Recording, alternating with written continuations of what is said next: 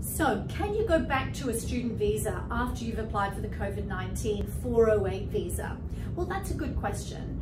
And as at this current moment in time, those visas are not being granted. So we're unable to see whether a no further stay condition is actually being imposed on that visa. If there is a no further stay condition imposed on that visa, it means that after that visa, you will not be able to apply further to remain in Australia and you will need to leave the country. Obviously, when there are flights to do so and you're able to, to do so and return to your country.